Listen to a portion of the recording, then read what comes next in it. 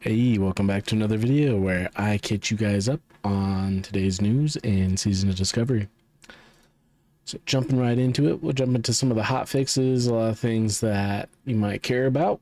Um, increase the number of Firelands invaders and all the other spawns. There for Blackrock Eruption, that's pretty big because um, they're already kind of crazy. And then uh, they made some updates to the Devilsaur legging patterns that can drop additional sources other than King Mosh now, so you can get it from more places. It's going to be really good because the fire resistance gear is super expensive.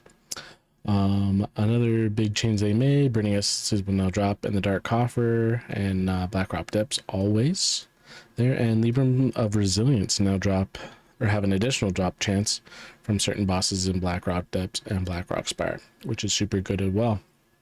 Um, then if you care, you can now mount with your Gift of the Gob and go into stealth, so you can permanently be a goblin if you really want to. And then in the biggest news yesterday, the Molten Core dropped. So big changes that were updated in the season discovery. Now there's three different heat levels there that you can enter the dungeon at. Um, heat level one is basically just like regular MC. Um, they've added, I believe, the different changes from Season of Mastery there. So there are videos that will go over the changes from Season Mastery. They aren't too crazy.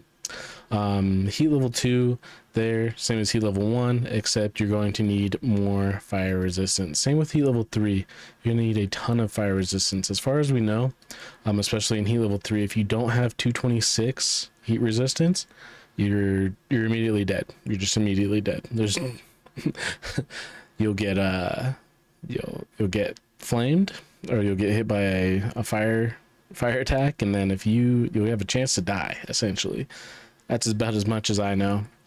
Um but yeah when you do into these higher heat levels there's no like better gear but you do get more gear. So um another thing is you can go above 20 people in your raid. You can still go up to 40 people in your raid for Onyxia, even and molten core. Um so always remember that. The coolest thing that i like that they added is now there's unique was weapon cosmetics. So some of the weapons are like enchanted to have you know these fire enchants on them they're all glowy there. So that's super cool. Um and there's also a secret extra boss there at the end as well. Um so one guild already did complete heat wave 3 there. So big congrats to them. They did it on the day one.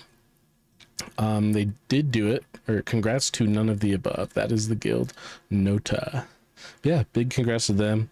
Um, they did some pretty, pretty interesting uh, mechanics here that they they utilized a weak aura that tracked the cooldowns of their domain trinkets. So that all stand in the domain and that gives them 50 fire resistance which is huge there. So they probably just continuously keep popping those trinkets there. They have plenty of fire resist and that made the fight easy for them um, you can get the trinket there from the Hydraxian Waterlords once you get exalted. Um, the way that they did do this is he talks about it in this video, but essentially here um, in the Burning Steppes, there are multiple different spawns of the.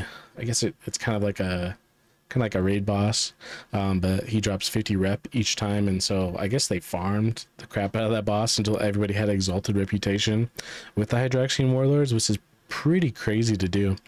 Uh, but there's like six different spawns of this giant raid mob. If you've been to the Burning Steppes, you know exactly what I'm talking about.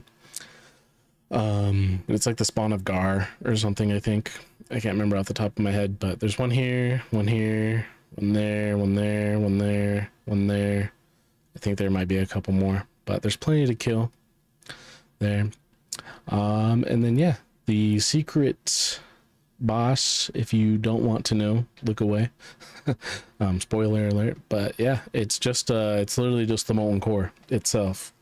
So uh, you finally actually get to kill the molten core and defeat the molten core and you can have that achievement. Kind of silly but uh it's got 4 million health and a resource ball bar that slowly fills up huh and it does different attacks and obviously if you don't have the fire resistance you'll die instantly it doesn't look like a crazy fight but uh, who knows? It's only got three different abilities. And then in other news, the 20 slot bag, bottomless bag, there has been added to the lost and found vendor there. Um, so you should be able to get your 20 slot bags now. That's pretty sweet. I think I'm still rocking 16 slot bags. Not very much. I need bigger bags. That'd be nice. Um, oh yeah, this was huge news there. The Blizzard Developers Forum, World of Warcraft Game Makers Guild Union. So Union is pretty huge for World of Warcraft. Um, now that they're owned by Microsoft, especially, um, I guess it'll help protect the devs and the players a little bit more.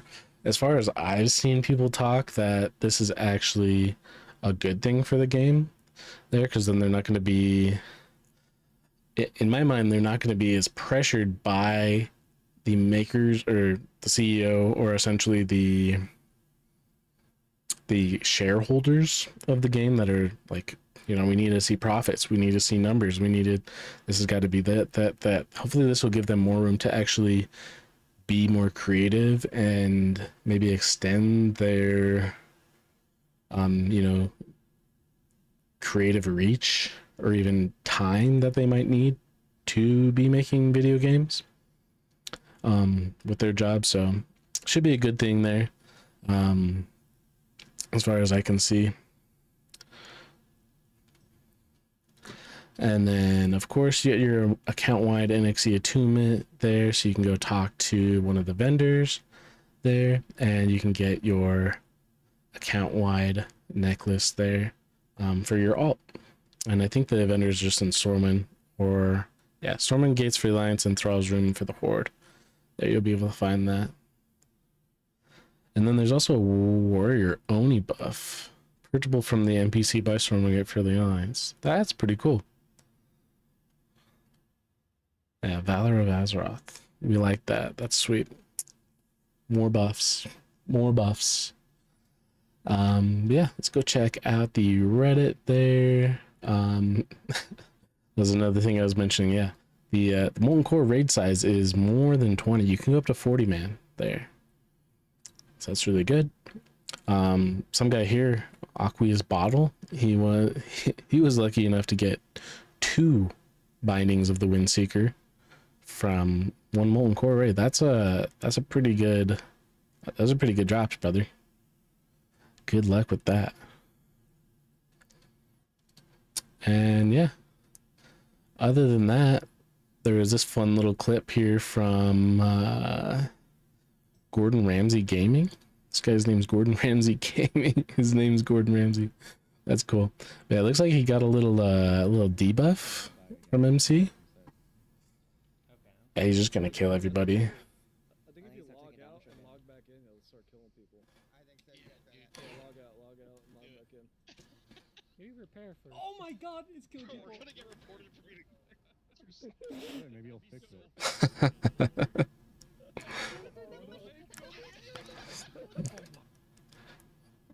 There's always crazy stuff going on in the Horde cities. Yeah.